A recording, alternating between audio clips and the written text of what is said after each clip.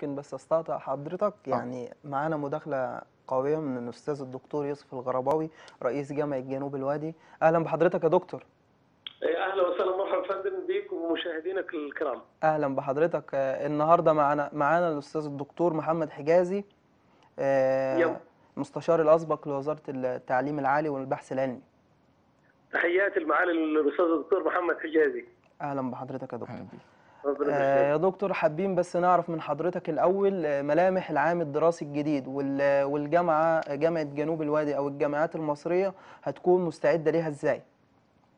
طب دعني اولا أحدثك عن جهد الدولة لجامعة جنوب الوادي وهي جامعة آه. بعيدا عن اضواء العاصمة. طبعا آه، جامعة جنوب الوادي يمكن فيها لو اتكلمنا على المشروعات الكبرى في جامعة جنوب الوادي تمام. نحن بصدد الانتهاء من آه، مدرجات مجمع مدرجات كلية الطب ب 198 مليون وسوف تتسلمه الجامعة في آه، يونيو 22 آه، عبارة عن 15 مدرج سعه 500 طالب ست مدرجات سعه 300 طالب مبنى اختبارات. على مقام على 671 متر مربع غرف استقبال أعضاء وغرف لأعضاء التدريس. ده المشروع الأول، المشروع الثاني معامل كلية الهندسة القيمة التعاقدية بتاعته 189 مليون ويتم الانتهاء منه في آه، يناير 22 مستشفى صحة المرأة هو المستشفى المتخصص لصحة المرأة وما يتعلق بها وهو المستشفى ال- المتميز في جنوب الصعيد بإذن الله تعالى. القيمة التعاقدية له 198 مليون وانتهى ال- ال- الأعمال الإنشائية له في 22 2 آه، سنة 22 آه، بسعة 386 سرير وست غرف عمليات. المبنى التأهيل آه، والعلاج الطبيعي المقام على 11260 متر مربع القيمة التعاقدية له 173 آه، مليون 369 ده عبارة عن أربع مدرجات صغيرة مبنى للكلية و12 فصل دراسي وست معامل. والمبنى ده هيبقى الأكبر بإذن الله تعالى في الشرق الأوسط مساحة وعددا وعدة. ويفترض الانتهاء منه بتاريخ الأول من مايو سنة 22 طرحنا مبنى للاختبارات الإلكترونية لتحقيق ال- الأسبقية الثانية للدخول في في الاختبارات المميزة الاختبارات الإلكترونية. تحقيقا لرؤيه ال- ال- الدولة في تحويل الاختبارات في الجامعات الاختبارات الالكترونيه مبنى يسع 6000 طالب آه، في الفترة الواحدة آه، معدل التنفيذ فيه أو سوف يستغرق التنفيذ فيه 30 شهر دي يمكن المشروعات الكبرى الجاريه حاليا في جامعه جنوب الوادي. لو اتكلمنا على الاستعدادات لل- للعام الدراسي الجديد اولا خليني أقول إن إحنا لم تطرا زيادات على المصروفات الدراسية لطلاب الجامعة. أيضا أسعار المدن الجامعية كما هي. مم. الإقامة في المدن الجامعية 350 جنيه شهريا. تمام. مع ملاحظة أن الطالب إقامته في المدن الجامعية تتكلف ما يتجاوز 2250 جنيه.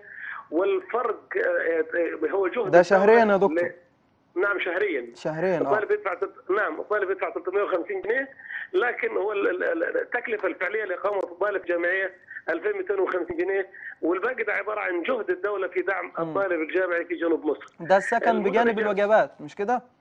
آه، نعم سكن بوجبات من طيب. ثلاث على مدار اليوم. جميل جدا آه، سوف نستوعب هذا العام 3400 طالبة و700 طالب. آه، ومع ال- التباعد الاجتماعي والظروف ال- وال- وال- الاحترازيات التي يجب اتباعها في ظل هذه الجائحة. تمام أيضا آه، ال- تم آه، الانتهاء من وضع ال- الجداول الدراسية بنظام ال- ال- ال- التعليم وجها لوجه داخل- القاعات وعودة لأنماط التعليم ما قبل الكورونا. وأيضا عندنا استعداد ونسخة من الجداول في صورة على نمط التعليم الهجين في حالة آه، تفشي أو زيادة الاعداد المصابين لا قدر الله. مع ملاحظة أن يمكن امبارح بنلاحظ انكسار وانحصار في الأعداد في الموجة الرابعة من من هجوم كورونا. وطبعا التعليمات والتوجيهات من معالي الأستاذ الدكتور خالد عبد الغفار وزير التعليم العالي. أنه لن يسمح لأي طالب أو أي منسوب من منتسبي جامعة جنوب الوادي أو الجامعات المصرية عموما. بالدخول إلى داخل الحرم إلا وهو متلقي التطعيم. بالتالي إحنا مكثفين جهودنا حاليا بالتعاون مع وزارة الصحة في توفير الجرعات حتى نغطي جميع آه، طلاب وطالبات وأعضاء التدريس والعاملين والإداريين وكل الفرق العاملة في جامعة جنوب الوادي قبل بدء العام الدراسي بإذن الله تعالى التطعيم يا آه. دكتور هيكون يكون لازم الطالب في الجامعة ولا يكون في أي مركز من بره عادي تطعيم. يا فندم يا فندم طالما هو طالب من طلاب جامعة جنوب الوادي إحنا عاملين جدول آه. زمني للكليات بأيام محددة للطلاب ال- القدامى. أما الطلاب الجدد الوافدين على جامعة جنوب الوادي عندما يقدم الطالب إلى الجامعة آه، ويطلب منه أداء الكشف الطبي في الإدارة الطبية. مم. يوجه مباشرة إلى نقاط التطعيم المنتشرة داخل الجامعة حتى يتلقى تطعيمه. يعني اللقاح والكشف الطبي في نفس اليوم. نعم يا فندم ده تمام. بالنسبة للطلاب الجدد. بالنسبة للطلاب القدامى معمول جدول موزع على مدار ال- الأسبوع للكليات المختلفة ونقاط التطعيم منتشرة داخل الجامعة تؤدي عملها على أكمل وجه والأحصائيات كل نهاية يوم وترفع إلى معالي آه، وزير التعليم العالي الأستاذ الدكتور خالد عبد الغفار الذي يشهد التعليم على يديه وفي عهده طفره متميزة في مختلف المجالات يعني كده يا. دكتور الحضور هيكون آه، طوال أيام الأسبوع بالنظام القديم وفي حالة نعم. تفشي في حالة تفشي الكورونا ربنا ما يورينا الأيام دي آه، هيكون في نظام. الهجين تاني هنرجع نعم. لنظام الهجين بإذن الله تعالى. آه، لكن ال- ال- ال- الإجراءات الاحترازية تجري على قدم وساق وعمليات التطعيم تجري على قدم وساق.